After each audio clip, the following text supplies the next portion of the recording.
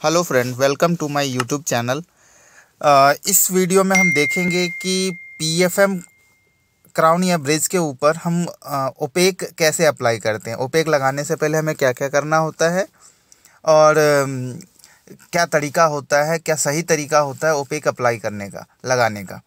तो इसमें हमने चौदह यूनिट का ब्रिज लिया है, जिसमें कि पीछे के दो सेवन जो दोनों सेवन है, दोनों साइड के, उसमें हमने मेटल क्राउन बनाया है।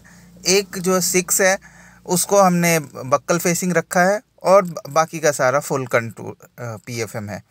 तो आगे बढ़ने से पहले फ्रेंड जल्दी से इस चैनल को लाइक और सब्सक्राइब कर दें और बेल आइकन दबा दें। और वीडियो अच्छी लगे तो इसे शेयर ज़रूर करें। थैंक यू फ्रेंड तो आगे हम बढ़ते हैं देखते हैं कि कैसे हमारा ये आ, सारा प्रोसेस होता है। एक आइडियल प्रोसेस हम देखते हैं। ये हमारा चौदह यूनिट का ब्रिज है। चौदह यूनिट के ब्रिज को हम, अब हम इसकी मेटल फाइडिंग भेजने वाले हैं।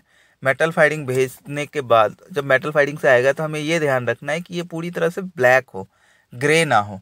अब उसके बाद हमें इस पर वॉश ओपेक अप्लाई करना है। वॉश ओपेक भी कह सकते हैं फ़र्स्ट ओपेक भी कह सकते हैं। और इसको अप्लाई करने में हमें ये ध्यान रखना है कि इसकी एक पतली पतली सी लेयर लगे। ये नहीं कि बहुत ज़्यादा मोटी हो। और इतना भी पतला ना हो कि हम अंदर से मेटल की ब्लैकनेस दिखती रहे। हमें बेसिकली मेटल की ब्लैकनेस को कवर करना है।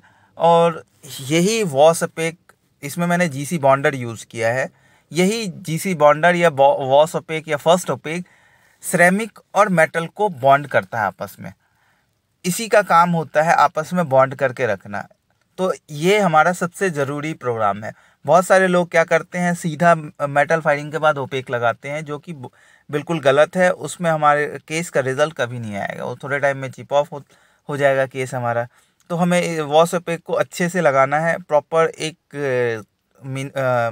प्रॉपर एक यूनिफॉर्म लेयर लगानी है। ना ही बहुत ज़्यादा मोटा ना ही बहुत ज़्यादा पतला। और ध्यान बिल्कुल ये रखना है कि हमारे मेटल की ब्लैकनेस ना दिखे। और इसमें मैंने नीचे से डेंटिन के लिए स्पेस निकाला है तो नीचे डेंटिन में भी, नीचे भी रिज के ऊपर भी लगेगा। और बाकी जो बक्कल फेसिंग है, उसके सिर्फ़ बक्कल सरफेस पे लगेगा। बक्कल फेसिंग में भी हमने आधा अक्लूज़न कवर किया है।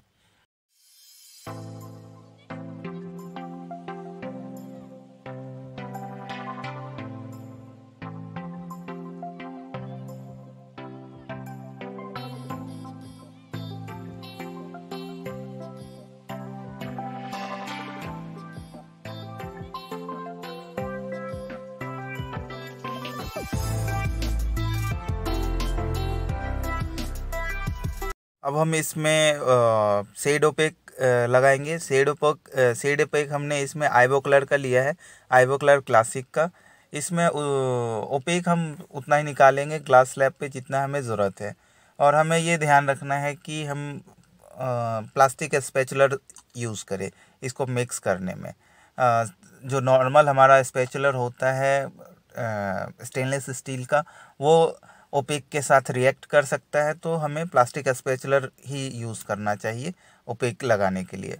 उसके बाद हम एक लेयर एक यूनिफॉर्म लेयर ना ही बहुत ज़्यादा मोटा ना ही बहुत ज़्यादा पतला जिससे कि वॉश ओपेक अच्छे से कवर हो जाए और ब्लैकनेस ना रहे। उस हिसाब से हमें पूरे पे एक लेयर लगाना है। और उसके बाद आ, सभी जगह पूरे सर सरफेस पे जहाँ जहाँ हमें डेंटिन बिल्डअप करना है उस पूरे सरफेस पे हम एक लेयर ओपेक की लगाएँगे।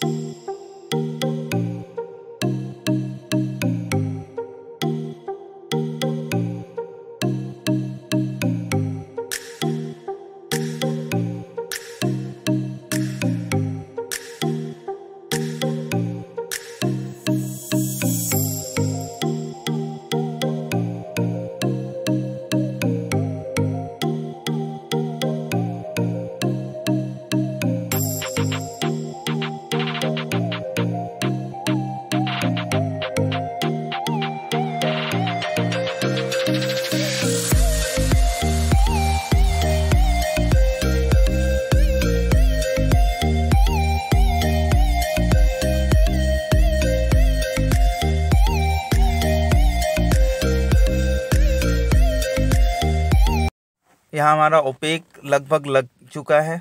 ओपेक लगने के बाद इसको हम फायरिंग में भेज देंगे। ओपेक फायर जब होके आ जाएगा तो हमें एक और ओपेक की फायरिंग करनी है, जिसे हम सेकेंड ओपेक की फायरिंग कहते हैं। और उसमें, उससे हमें ये होगा कि एक आइडियली हमें ओपेक को हमेशा दो फायरिंग में पकाना होता है, और दोबारा लगाने से जो ओपेक का में हमें सबसे ज़्यादा फ़ायदा होगा अगर ओपेक कहीं से फटा हुआ है या कहीं से थोड़ा बहुत ब्लैकनेस दिख रहा है तो उसको हम कवर कर सकते हैं।